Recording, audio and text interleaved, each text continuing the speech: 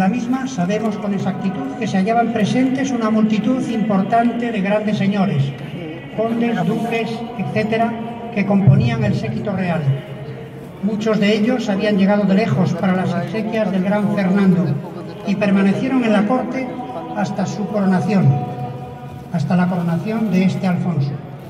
Hemos seleccionado algunos de aquellos nombres para traerlos hoy ante ustedes y son los que con toda solemnidad están avanzando hasta la cabecera del imaginario templo en el que ustedes mismos se encuentran para acompañar al joven príncipe y a la familia real en este momento tan importante en el que de otra parte se está consolidando de facto y según los deseos del finado la partición de un reino que ha sido admirado, temido y hasta odiado por varias centurias, el reino de León. Acompañado de los más próximos de su familia, el rey ha avanzado hacia el altar. Encabeza la ceremonia, la comitiva, el obispo de León, que será el encargado de ungirle con el óleo santo, don Pelayo I Tedóniz, al que acompaña el obispo de Astorga, Pedro III, y los abades Fruela de San Pelayo de León y Gonzalo de San Facundo y San Primitivo de Sagún. El obispo de León será pues el encargado de ungirle con el óleo santo, puesto que la ceremonia de unción de un rey de León se había inspirado, y así consta en los códices medievales, de la llevada a cabo para el rey David, probablemente el rey más significativo y emblemático del reino bíblico de Israel. Camina descalzo, como Isaac cuando subió al sacrificio, puesto que entraba en lugar sagrado e iba a sacrificar su vida por el servicio de su pueblo. Se entendía que de este modo el rey era también elevado y separado del resto de los hombres, pero con la finalidad de ser destinado al sacrificio máximo por esos mismos hombres sobre los cuales se elevaba. Era un rey elegido previamente y santificado por medio de la unción para obrar en lo terreno de un modo supraterreno, para rescatar lo corrupto por el pecado y elevarlo a lo trascendental. A su lado, la Reina Madre, que será quien le presente para ser investido con los símbolos y atributos del poder real. Alfonso está arrodillado, humildemente, ante el obispo, y éste debe hacerle las preguntas que contempla el ritual, el Ordo Coronationis, que está en manos del ayudante del obispo legionense. Mientras tanto, los nobles permanecen en pie, en señal de sumisión. Es una ceremonia de la mayor trascendencia.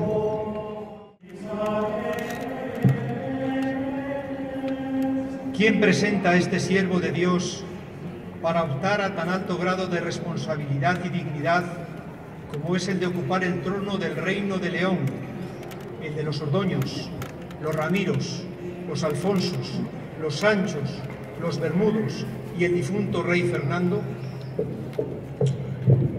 Yo, la reina Sancha, viuda de Fernando el Magno e hija de Alfonso V, el de los buenos fueros.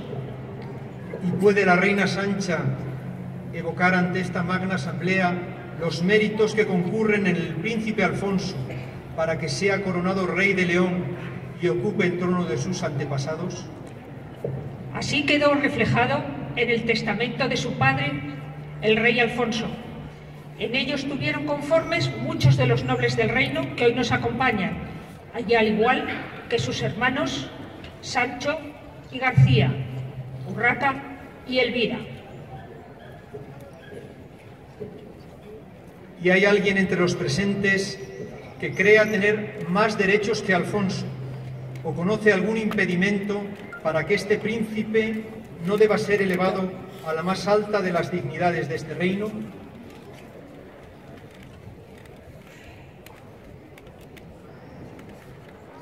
Repito, ¿hay alguien entre los presentes que, crea tener más derechos que Alfonso o conoce algún impedimento para que este príncipe no deba ser elevado a la más alta de las indignidades de este reino?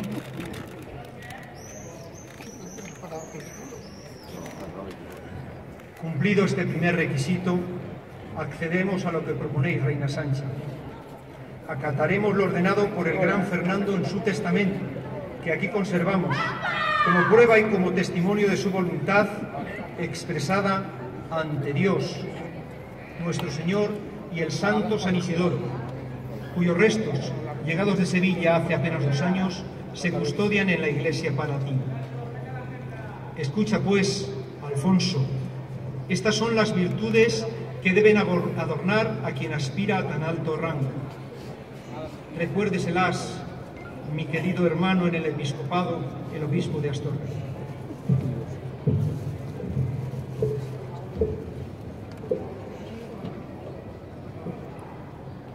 Buen gobernante, príncipe Alfonso, debe encarnar en especial ciertas virtudes que atiendan directamente al cumplimiento de sus responsabilidades como pastor de su pueblo, a saber, la piedad y la justicia.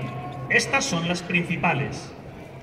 Pero no podemos ni debemos olvidar tampoco otras como la fidelidad, la mansedumbre, la fortaleza o la humildad. ¿Creéis, Alfonso, que concurren en vos tales virtudes? En ellas y en el desarrollo de las más sagradas costumbres de mi reino que enseñaron mis padres.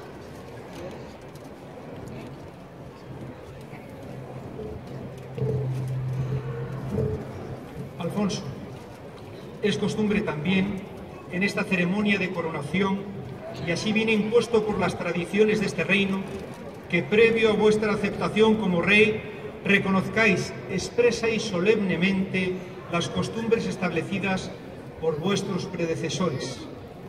¿Estáis dispuestos a jurarlo delante de Dios y de vuestra corte aquí reunida? Juro respetar y conservar para todos los clérigos y laicos de mi reino las buenas costumbres establecidas por mis predecesores. ¿Juráis aceptar y defender para vuestros súbditos todas y cada una de las disposiciones del Fuero de León, promulgado por vuestro abuelo Alfonso el Noble, el quinto de estos reinos? Lo juro con la ayuda de Dios. ¿Juráis aceptar y defender los decretos emanados del concilio de Collanza, convocado por vuestros reales padres en el año del Señor de 1050, y que vino a completar las leyes otorgadas por vuestro abuelo en el mentado Fuero de León? Lo juro con la ayuda de Dios. Si así cumplís con este vuestro juramento, Alfonso, que Dios os lo premie, si no fuera que Él mismo y Santa María os lo demanden. Vista la legitimidad que os acompaña y una vez aceptado el juramento, el cumplimiento de nuestras leyes y costumbres, procedo a ungiros con el óleo santo, que según la tradición de nuestra Santa Madre la Iglesia, es interpretado como luz y salvación con la obra de Dios y más en concreto con la luz del Espíritu Santo. Así te unjo, Alfonso, como hizo Samuel, que según la Biblia tomó el cuerno del aceite, le ungió en medio de sus hermanos y desde aquel día el Espíritu del Señor se apoderó de David. Que este aceite sagrado, enviado desde Roma por nuestro Santo Padre el Papa Alejandro II para esta ceremonia, te conceda la fuerza, la sabiduría y la gloria del Espíritu Santo como hizo con el rey David tras ser ungido por el profeta Samuel.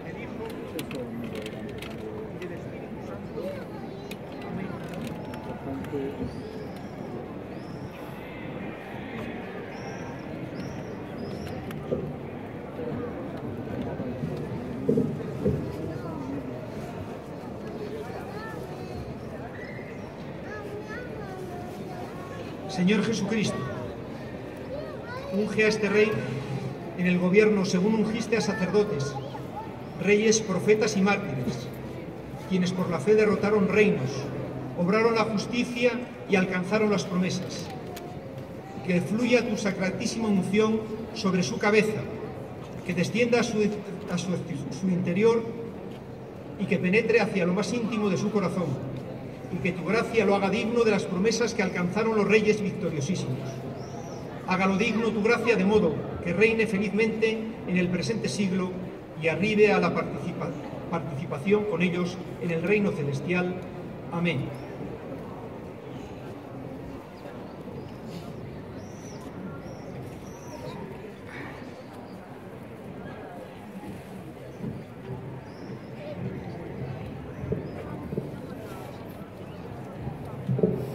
Noble procede ahora a calzar al rey ya ungido, que de nuevo de rodillas será coronado por el obispo y la reina madre, la reina Sancha.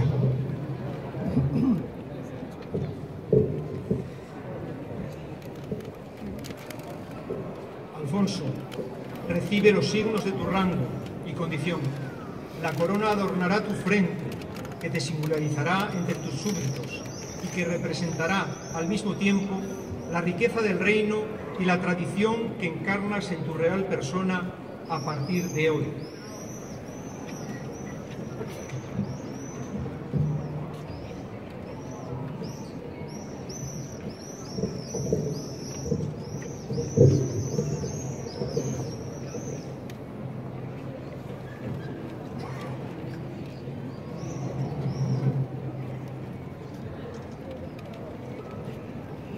Más más recto.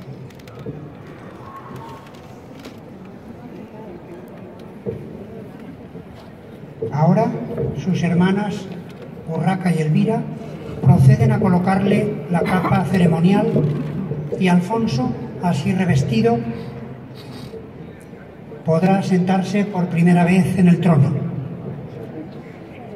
Una vez en el trono, sus hermanos, Sancho y García, le entregarán el cetro.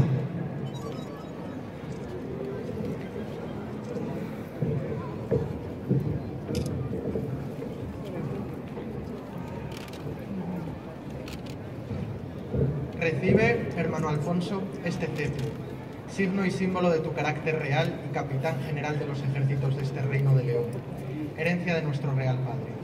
Que el Señor te ayude a portarlo con orgullo y dignidad para, de ese modo, y a la cabeza de tus hombres y acompañado de los nuestros, seamos capaces de expulsar de la Hispania de nuestros antepasados las tropas de nuestros enemigos.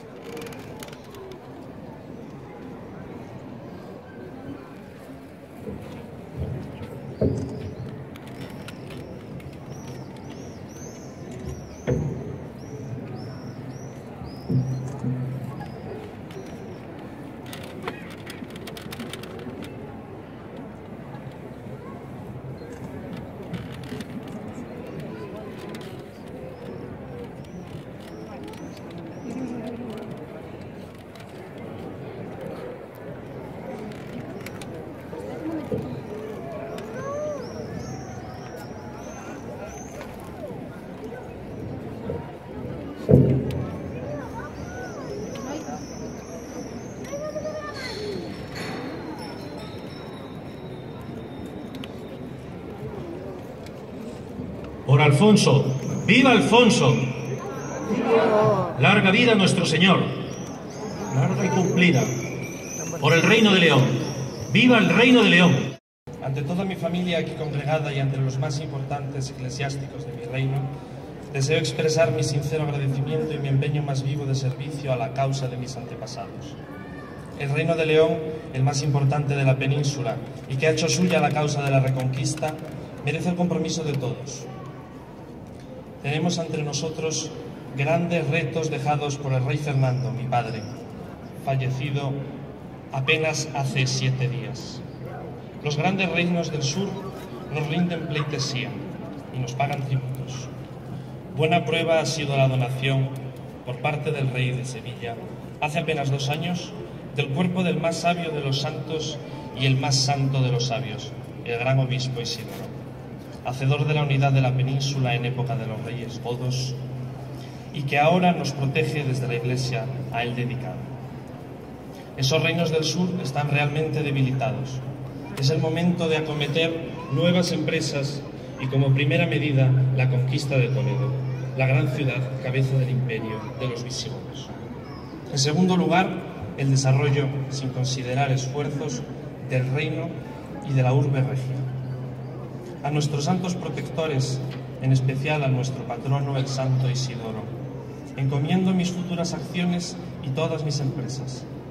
Pretendo con mis hazañas no solo emular a mi predecesor, el rey Fernando, sino tomar ejemplo de grandes reyes como Ordoño II, enterrado en esta santa catedral, o Ramiro II, su hijo, bajo cuya dirección los ejércitos del reino alcanzaron señaladas victorias sobre nuestros enemigos y ganaron enormes territorios para la causa de la cruz. Pensad en las batallas de Castromoros o Simancas y armémonos en valor para rivalizar con estos reyes que, según los cronistas, no sabían descansar. Hemos de hacer de este reino de León la envidia de nuestros enemigos, y así como el león es el rey indiscutible de los animales, este nuestro reino, cuya representación más evidente y simbólica es precisamente un león, siga siendo no solo respetando, sino incluso temido, sino no solo respetado, sino incluso temido en el conjunto de las naciones, tanto en la península como en Europa. El reto está lanzado y con la ayuda de todos podremos alcanzar su cumplimiento.